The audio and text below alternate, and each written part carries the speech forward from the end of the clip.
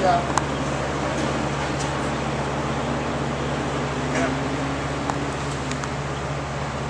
Okay, assuming each bale Yeah. is a kilo, they have they have now put two kilos, three kilos, four kilos,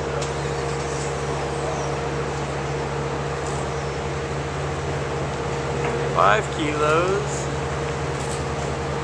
six kilos, Holy shit. that would make seven kilos.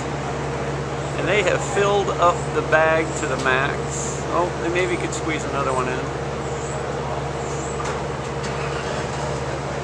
We're in Kansas, by the way, western Kansas, in the town of Oakley. That's the home of Annie Oakley, by the way. The lucky recipient of the search is in the front seat of the Kansas State Troopers car, right over there. Just another fun day in the neighborhood.